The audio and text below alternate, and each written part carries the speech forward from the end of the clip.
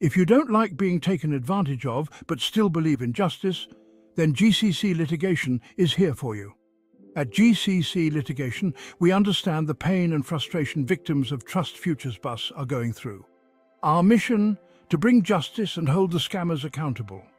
We're not just talking about awareness, we're taking action. You deserve to have your voice heard and your trust restored.